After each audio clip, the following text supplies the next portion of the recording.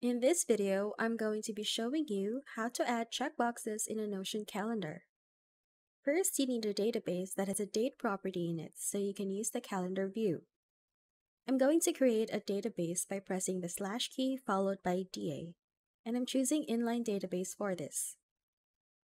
In this table, I'll need three properties. The text property for my task name or title, the date property for my deadline, and the checkbox property to mark items as done. I already have a text property here, so I will just rename it to title. There is a multi-select property here called tags, but I don't need that right now, so I'm going to click on it and choose the delete property option. Click the plus sign to add another property for the date.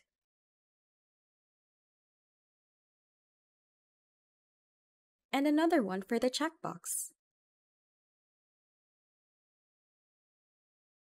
I'm just going to fill my table real quick.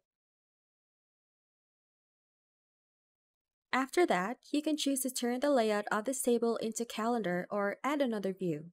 To change the view to calendar, start by clicking the three dots on the top right corner of the table. Click Layout and choose Calendar View. I'm going to keep the current table and just add another view for the calendar. You can do that by clicking the plus sign beside the table title.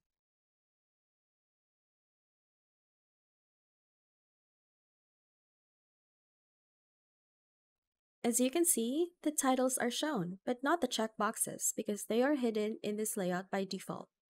So hover on the top right side of the table, click the three dots, then Properties. It shows that these properties are hidden. To unhide, click the eye icon. You'll see that the checkboxes are now visible. If this video helped, don't forget to hit the like button and subscribe.